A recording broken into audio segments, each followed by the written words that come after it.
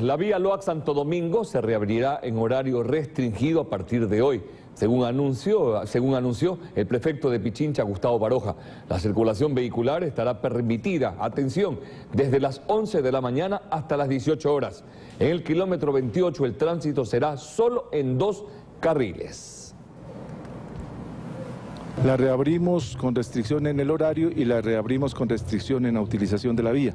En el horario, de 11 de la mañana a 6 de la tarde los días jueves, viernes, sábado y domingo de esta semana, evaluaremos nuevamente para ver si a partir de lunes la reapertura es de 6 de la mañana a 6 de la tarde.